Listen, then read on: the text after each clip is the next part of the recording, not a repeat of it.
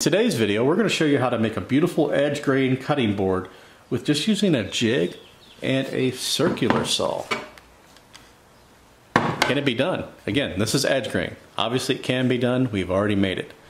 Stay tuned and watch the video. If you have any comments or things we could have done better, be sure to post those as well. Now before I get started with the actual build of the video, I want to show you the final revision, at least for now, of the actual jig because it's changed quite a bit from the video. The concept's still the same, but we've added some things and made it a little bit better. So it does look different. I didn't want to remake the video. I already made it and it was kind of too late at that point. So check this out. Now you can watch the video for the general instructions, but this is what we end up with, which is it's different. Some things that I've done is when you watch the video, you'll notice the sides are a little bit taller uh, for like three quarter inch stock. Well, you may have thinner stock. Now you can take these off completely, but for now I've got half inch sides on there and we'll show you how it works. This acts as a clamp. So in the video I had some what I thought was three quarter inch thick material wasn't quite that thick and I had to actually shim it up. So now we've got these knobs we've added that makes it easier. In the video I had some screws and you could do it that way as well, but this is just makes it a little bit faster. Also we had a support piece over here that was kind of stabilizing things because my saw is the six and a half version of the Milwaukee and the blade's on the left hand side. Most of the time it's on the right. And for some reason I was basing everything off of this side, which you can see there's only an inch and a half of base there. So I had to have this other side, which in the video I've got it cutting this way. Well, I got to thinking, why don't I do it the other way? So I can eliminate this other piece, which just didn't really work out that well because the saw was still a little bit unstable. Although we did make the cutting board with no issues. Some other revisions, I actually added screws to everything. I originally just had some air nails, but we added some screws for stability. Now the way this works, this acts as a clamp. I do have two of these, I just don't have the other one in. And we slide our material, this is Purple Heart. We slide it into place. And you'll notice over here I have a stop. When I assembled this, this is all 90 degrees, so we know this is a straight cut. Now the stop, you can change the location. So right now we're looking at a one inch cut. Now if I wanted to make a larger cut or a thicker board, I can move this out to one and a half. You can unscrew it, put it in a new location. You could also add some slots to make it adjustable, however you want to do it. If you wanted it smaller, you could move it in a bit. So we put it in there, there's our stop, and then we would tighten down our clamps. And you want to put even pressure because you see right now this is angled because I've only got the one in there. But if I have them both in there, I can get even pressure. Just want to show you what actually happens. So now that I've got that clamp down, this piece of purple heart is not going to move. So we've got our piece secured in there. Now we could actually take the saw and we could rip our piece. See, it's really stable now because we're using the majority of the base. I don't know why I didn't think of that, but hey, that's what trial and error are for. And I cut my one piece, and you'll see that in the video on the unrevised version. We'll cut our piece, unclamp this, and then we move it over to make our next cut. And that's really it. I mean, it's a lot simpler now than I made it in the video because again, it was this way, it was kind of just weird. You couldn't actually see this piece. This piece kind of clamped down as well. And then once you cut it, you had to undo this section as well as this section to remove the piece or get a new piece in. This just makes it a lot faster. Clamp it down, cut it, push it in, clamp it down, and you're, you're rocking and rolling. It's pretty straightforward. If you have a saw with the blade on the right hand side, you're going to want to make it the way I originally had it and cut it that way. Uh, so you have more stability. That way you don't need that other piece. You can also see what you're cutting. To get the size you want, when you make your first cut, you don't really want to cut into this base too much, just a little bit, but you can actually measure from that kerf to the block to get what size you want. So you'll see that little kerf cut. You wanted it an inch and a half, unscrew it, measure over an inch and a half, make sure it's square, screw it back down. Now here's our top half. We use these quarter inch Inserts, again, you could just use screws like I do in the video. That's just fine. Takes a little bit more time. And then here is our piece of stock. Put that on there. This clamps it down, prevents it from moving, and you start cutting. Wanted to go over those changes real quick before you watch the video and think this guy's an idiot, although you still may think that. I appreciate any comments, anything you think we could do to revise this. Now, I may not use this again. It was just an idea that I came up with. It is slower than cutting on the table saw, but it's an option. When there's a will, there's a way, and that's what this is about. Uh, creativity. Doesn't matter what tools you have. A beautiful cutting board in the end, in my opinion. Turned out really well. And nobody would ever know that this was cut with a circular saw.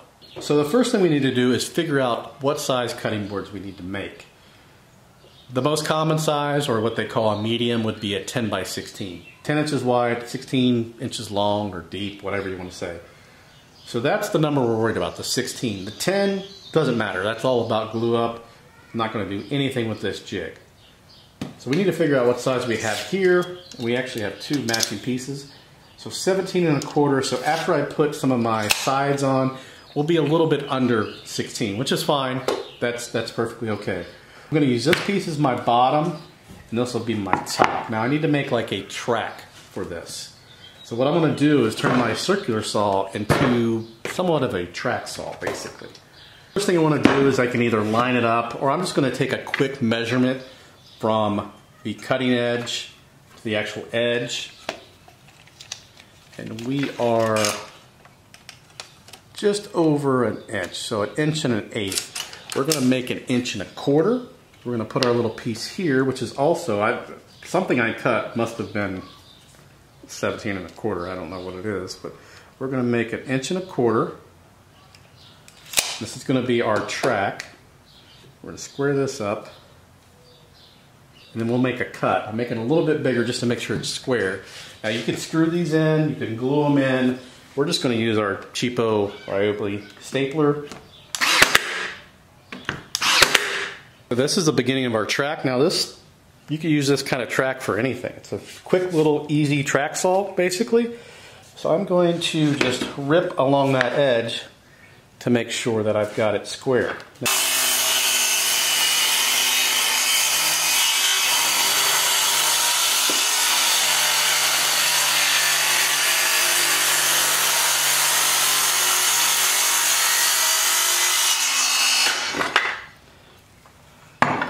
So there is our track. I obviously need a new blade. But now we've got our perfect track and we can start kind of assembling the system already. Okay, we've got our track. And then we've got our base. We also have these little strips. Now I did cut these on the table saw, but they were already 17 and a quarter. Uh, kind of working out perfect for me. May not be the case with you. Size of these are very important. I've made these a little bit under three quarter. So basically, you don't want to make these too big or too small. When you make them too big, this whole setup's not going to work. Let's assume you're just buying wood from the local Home Depot or Woodcraft. It's all sided. You don't have to plane anything because again, this is just with the circular saw. You're not going to be using a planer. So we made these three quarter. Now these are going to sit here like this, but we're not going to put them on the base yet. We're actually going to put them on our rip fence or our track. Okay, I found some other scraps. That should work fine. So again, we still do not have the bottom attached. We're not going to do that quite yet. But the next important thing is how thick do you want your cutting boards to be? So we've got a piece of cherry here and you'll kind of see what I'm doing in a moment. So we got some cherry. Do we want a one inch thick cutting board? Do we want a three quarter? I would say one to one and a quarter. You're not going to be planing, so we should probably leave it at one inch. So we're going to put a little support piece here, and we want to actually make sure this is square. But first, we're going to measure basically an inch over. Square.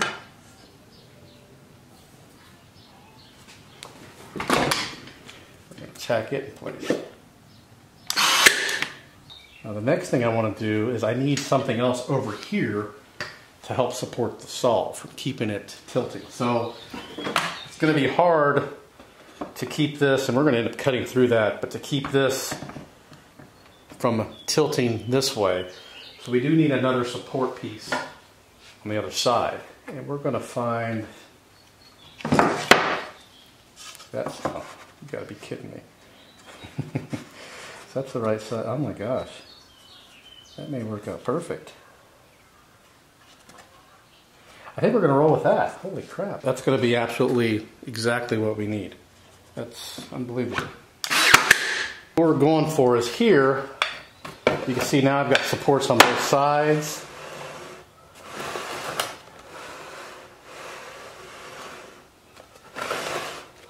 We could cut our, our small pieces.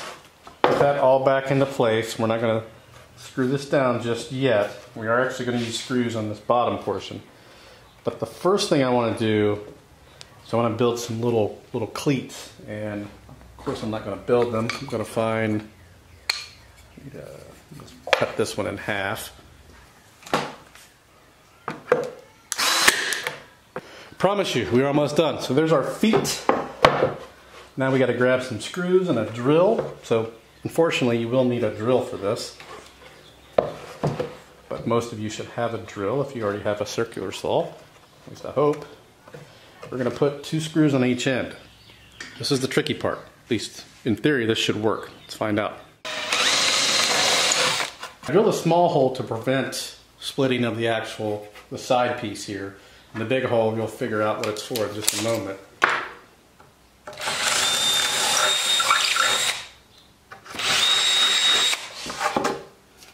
Okay.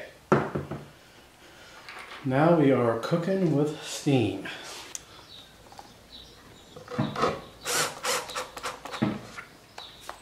Hopefully now this is all making a little bit of sense. Probably not. Because we are just doing this up by the seat of our pants, pretty much. So basically, what we've done is we've created this is this whole base acts as a clamp. So if you get a piece that's a little bit over three quarters or under, we cut this a little bit smaller than three quarters, we're good to go. So what we can do, this is a piece of uh, cherry, we can actually slide it through. Ah, that wasn't all the way down. Actually, this would be good. be good for you to see this. Uh, now this is square, this is square to this. That's all that really matters. The ends, not so much, unless you're squaring it up to that. But we're gonna square it up to this right here. We're gonna make our cuts. I'm gonna put this back on here. There's, now that I think about it, I probably could have done this a different way, but this is gonna be just for leverage. We're gonna cut our first strip.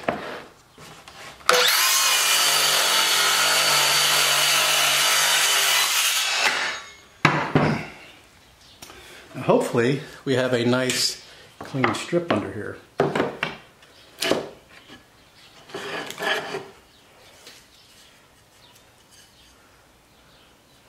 There's one. Let's push it over. And I actually did not support that in the right spot. I should have put some nails under there. I did not do that. And I'm kind of glad that came off because I'm going to use this as a temporary support. Now we're ready for our next piece. Now this is going to be the last piece we can cut on this. Push that down.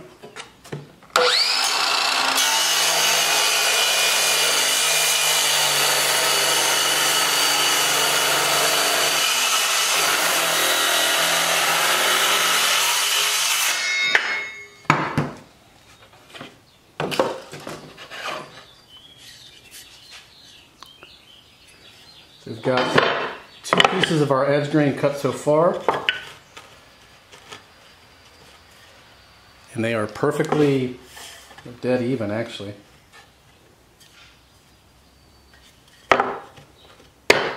And we can keep on, keep it on. We're actually going to cut some more. Let's find some other pieces of something. Now this is certainly not, as I mentioned, not the quickest way to do this. I mean, this, this takes some time. But you don't have the means to do the other things. Now this one's a little bit less than three quarters, quite a bit less. I should have made this a lot smaller. But What you can do is you could take a slither or a scrap. Okay, we just need a little shaving here. I'm gonna put that in there.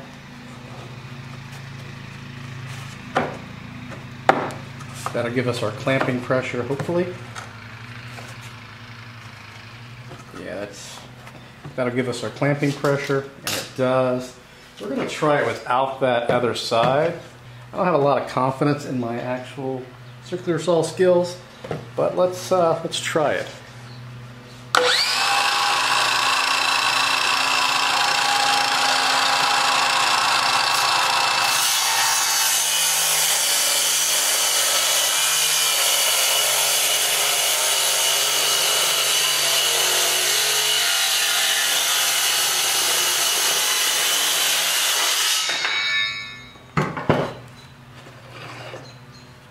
What do you know? We got another edge grain piece. So let's, uh, this is going to be our last piece. Let's see how she goes.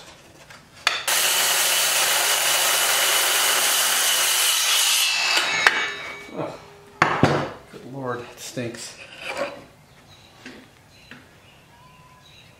Oh my gosh, it's actually straight. The other piece of Purple Heart I'm going to leave for another cutting board that's a good piece of wood there. I'm surprised that blade actually cut as well as it did. It's pretty old, but hey, we'll take it. One thing I don't like about this method is the mess. I'm used to very little, very little dust with all the products I use. So, full disclosure, the last, I found another piece of cherry because this was kind of narrow uh, in my scrap bin and I cut it on the table saw because I already had this all put away and I wanted to make it a little bit wider because it kind of looked funny. Um, I'd still like to make it one more wider, but I don't have any other scraps. But get your layout organized, how you want to put it, and we'll start gluing it up. Now, this is cherry, poplar, poplar, oak, cherry, cherry, poplar, cherry, purple heart, cherry. You really don't want to use poplar for cutting boards, but it'll work. I mean, this is something that you can do, and it's, it's fine. But one thing you'll want to do, invest in a good set of clamps. I'm using these like four-way squeeze clamps. They're on Amazon. I will post a link below the video in the description. They are $49 for a pair of them, and I cut them a little bit wider, or longer rather, so I can use them for tabletops, what have you. And I've actually finished the side. You can see some of the runs. And I put tape on them so none of the glue gets on these. It's easy to peel off. Probably don't even need the tape because I got a lot of finish on those.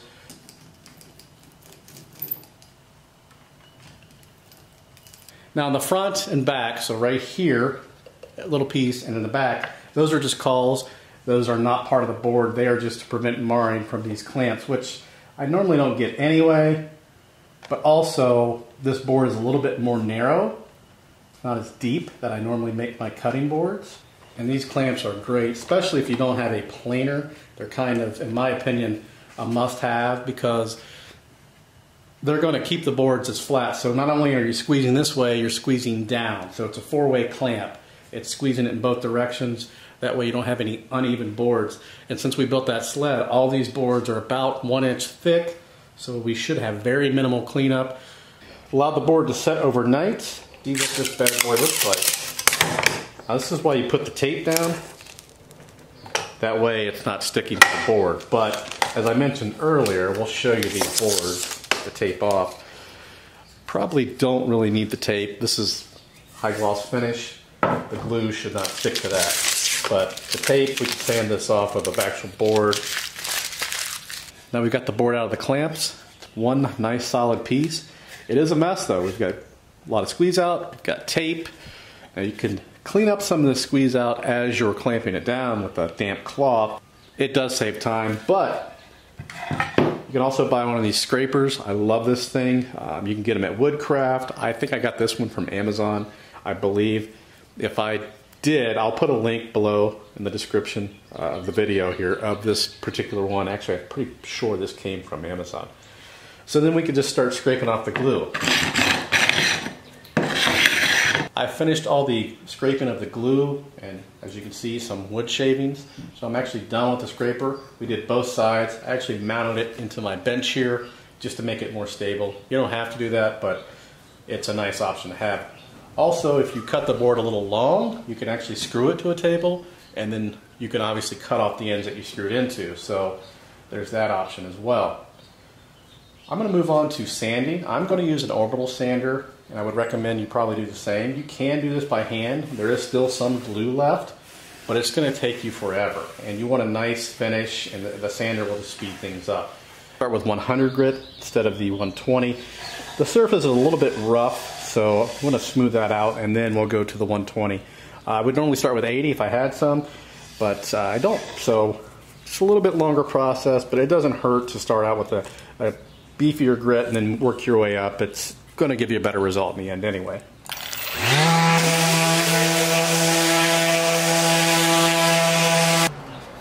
As you can see, it's already looking much better. Before I go any further, I'm going to go ahead and square off the ends of this board. Each of the ends, they need to be squared. They're not exactly square. And also, this is a good time to determine what you want your overall board length to be. I'm going to use a framing square and a circular saw to do so. And I'm going to cut off about a good inch and a half or so, eh, maybe a good inch.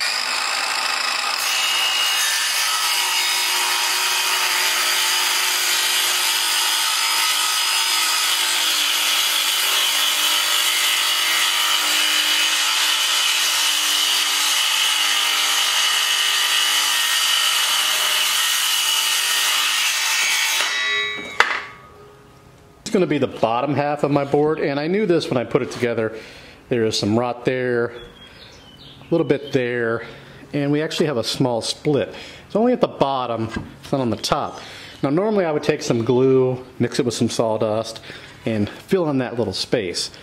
But I'm going to actually use some of the Starbond brown medium. We're going to fill this hole, fill that crack, and fill that crack. And actually a little crack right there.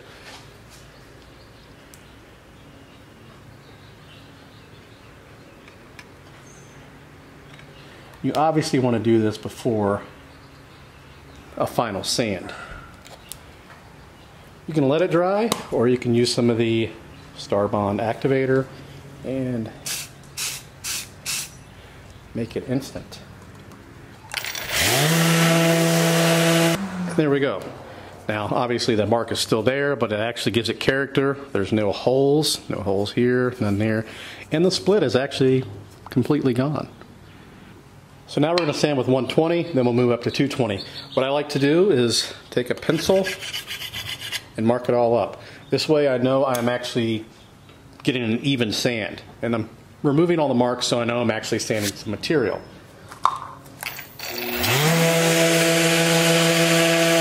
Now typically on cutting boards I like to round over the edges to give it a nice clean look. It also protects it a little bit. If it falls with a rounded edge, it's less likely to get like a big dent or at least be noticeable. If you got that hard edge, you're definitely going to notice it. And normally I would do that with my router table, but we're kind of talking about doing things in minimalist here. And ideally, you would want to use uh, maybe a hand plane or even a hand sanding pad, but we're going to try it with the orbital sander. Really never done this, but uh, we're going to see how it works out. We're going to take our time because it is very easy to go too far. But we're just going to go back and forth. Let's see what it looks like.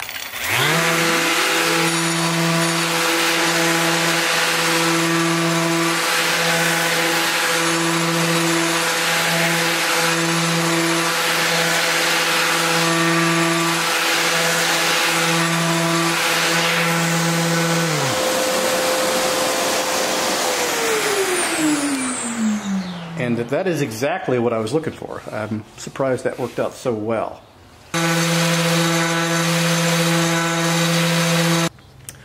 We're going to try some hand sanding. This is a lot safer method. And especially on the corners, I want to round those over, and I definitely don't want to use the orbital for that.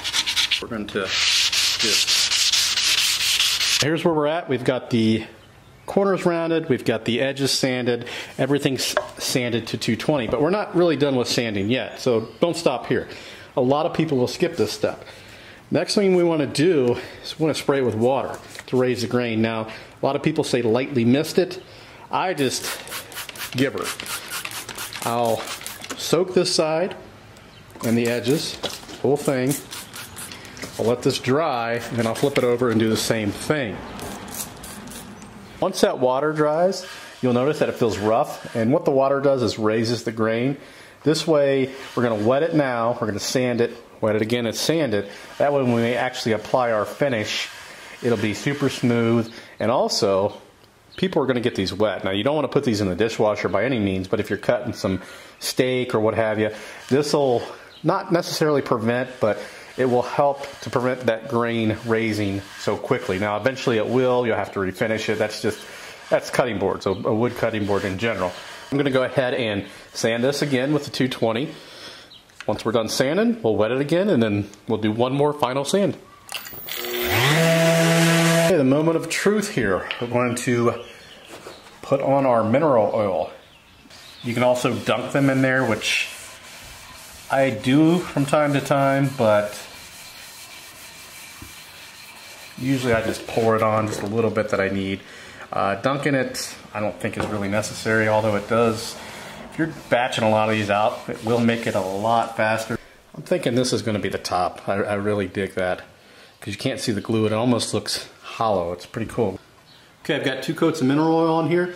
I applied the first coat, which you saw. I let that dry for about four hours or so. Not really necessary, but the board started to look a little bit dry. So then I applied a second coat and I let that dry overnight. And here's where we are at.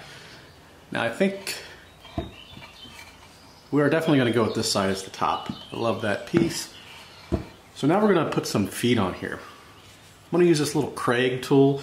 This is actually just like a little ruler that you can do 90 degrees and 45s and so on and so forth, but it's a great marking tool. You don't need this, not necessary, but it does, for me, make it a little bit easier for repeatable drilling, cuts, whatever you want to use it for. Um, you can also just do it by eye, or you can actually make a little jig out of wood. I've done that before too. So I'm going to drill some small pilot holes, and we're going to install our feet. Now that I have those holes drilled, I'm going to go ahead and install the rubber feet. Now this is a completely optional step. Uh, a lot of people don't use them. I like to use them. Um, they kind of protect the board if you're on a flat surface and it's wet. You're not getting the board wet, it's lifting it up. It also gives you a way to actually lift up the board instead of it being flat on the table. You can also router in some finger grooves, but again, we're trying to do this kind of minimalist with just using a circular saw drill and uh, a, a sander.